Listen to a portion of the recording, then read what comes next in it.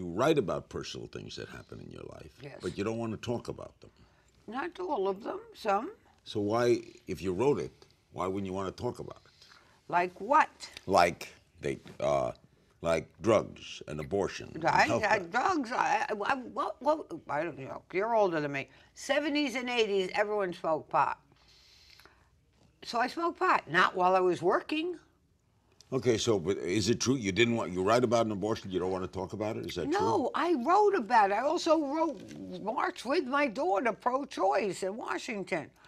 You know, but it's just when they just go for that. Well, I'm not going for that. I'm just. No, but that's what they do. That's why I didn't want to talk about those things. Oh, I see. They were trying to. They were just trying Wrangle to do anything that was possibly, ooh, you know. I talk about it honestly because I did them How old were you? For The abortion. How old? 40 something. Wow. Yeah.